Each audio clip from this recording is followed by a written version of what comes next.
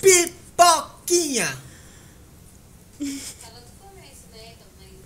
Ih, tem polêmica na pipoquinha Aceita também? ou recusa? É, primeiro, aceita ou recusa? Gente, eu fico no meio termo. Porque assim. Então recusa.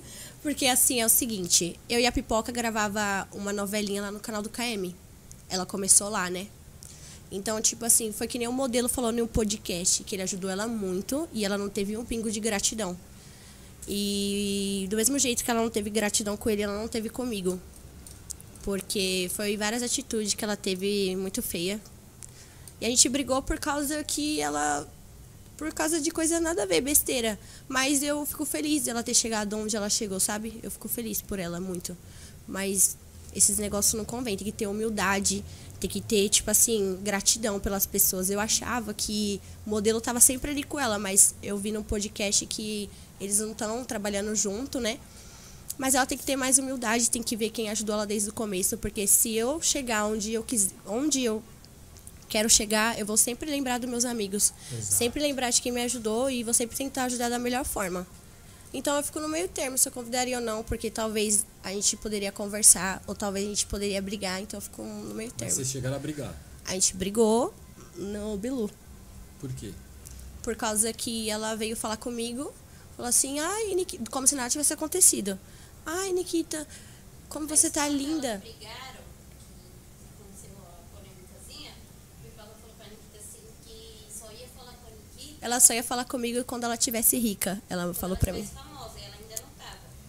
Aí passou um tempo ainda ela não tava estourada, a gente foi pro juiz e ela Não, passou Bilu. a falar com a Nikita. É, Bilu, ela foi falar com a Nikita. Aí a Nikita falou, você não falou que ia falar comigo só quando você fosse famosa? Aí ela ficou nervosa Aí lá. ela ficou nervosa. Mas por que ela falou isso? Que só falaria com você quando ela estivesse famosa ou rica. Porque ela surtava. Porque a gente brigou. Porque a gente brigou porque ela tava morando na minha casa. A Pipoca morou na minha casa um tempo. E aí ela queria que eu fizesse as coisas que convinha a ela, só que não dava. Eu tava gravando meus vídeos pro canal, eu tava fazendo muita coisa. Ela tava morando na sua casa e queria que você fizesse. É.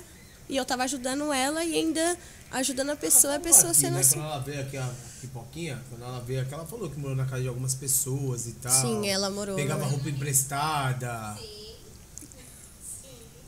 Eu também já peguei roupa emprestada. Ah, não, não, isso não, mas o que é. ele tá Não, falando é. que ela contou Sim. que, tipo assim, ela não tem vergonha disso. Ela Eu fala eu ela não tenho passa também por não. coisa. não, sim. Por isso que eu falei pra vocês, eu fico feliz de ela ter chegado onde ela chegou. Não, não de um jeito, né? Que agrada todo mundo, mas eu fico feliz, só que ela deveria olhar um pouquinho pra trás e ver quem ajudou ela. Ter um pouco mais de gratidão e humildade. Mas eu fico nesse meio termo, não sei se eu chamaria ou não, porque talvez ela iria brigar ou sair na porrada, ou conversar, porque se for pra conversar, eu conversaria com ela, normal. Minha mãe comentou, eu gosto da pipoquinha. Minha mãe ama pipoca, porque minha mãe gosta dela. Minha mãe gosta muito Fala da aí, pipoca. minha filha é linda. Ó. Então, foi explicado o caso da pipoquinha. Mas foi aceito ou recusa?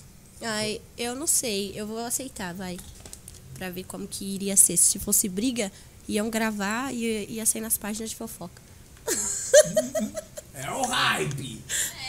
É, a gente vive disso. Vai conversar, não quer conversar, então tá bom, já fico assim esperando. Cameraman.